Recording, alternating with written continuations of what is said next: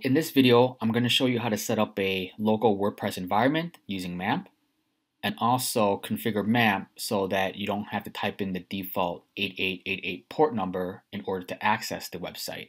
Let's go ahead and get started. First thing I'm going to do is I'm going to set up a test website with the URL demo8888.local. You guys can set it up to whatever you want and then have it stored in the website folder under the same URL, demo8888.local.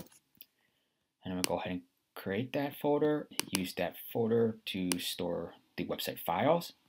Let's go ahead and create and save our host settings, reboot the server. And I believe where most people take the misstep is that they will go ahead and click on extra and install WordPress right away Instead, what you want to do is you want to click on ports and make sure that the settings is not the default setting. Instead, the settings 80, 81, 3306, and um, I believe this, this stays the same. But if I set it to the default MAMP ports, this is what the default is. I believe the reason why you guys are watching this video is because you basically have it under default settings and did not click on set to port 80, 81, 443, and so forth. I'm going to go ahead and actually save it under the default so that we're on the same page and then we can go try to reverse the process and fix it so that it is back to port 80, 81, 443, and so forth. I'm going to go ahead and click on set MAMP default, use the default. Let's go back to host. I'm going to see if I need to save anything. Let's go ahead and click on save so that the ports are also saved as well have it start the server.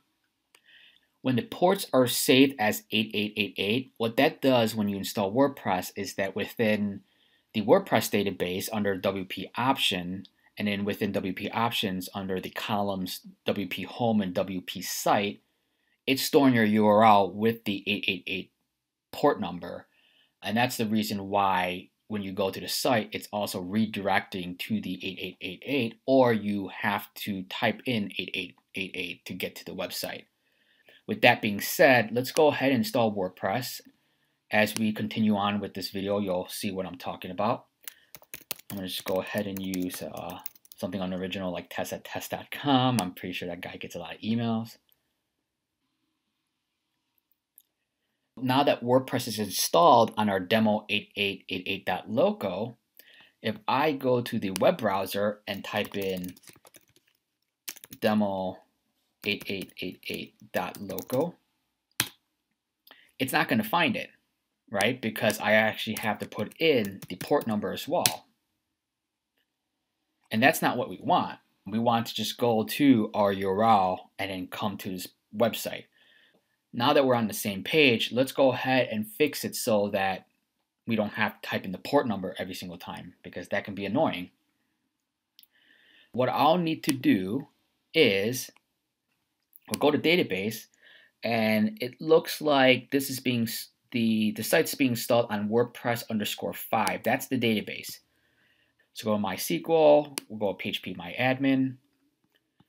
Under the WordPress database, and then under the WordPress underscore five, let's go to WP options, browse, and here we can see that our uh, site URL and home URL is our URL with the port number. So let's go ahead and remove the port numbers here.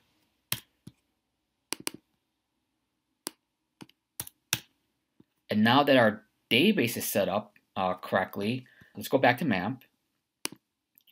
Now turn off the Apache server. So we'll stop the Apache server and we'll go to ports. And this time we'll set the ports correctly. So that's 80, and then as you can see, once I change the ports, there is no way for me to save it. The save button down here on the lower right isn't active. I'm not sure if that's a bug with MAMP or anything like that, but we can't really save our port settings. So what I do is I just quit out and then it'll prompt me to save. So I'm gonna go ahead and do save and quit. And then I'll reopen MAMP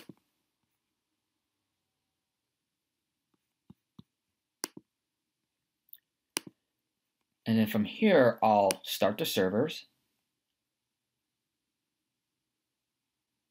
And once the servers are activated, we see it, it works now. In addition, I'll take the extra step and also log in into the backend. Oops.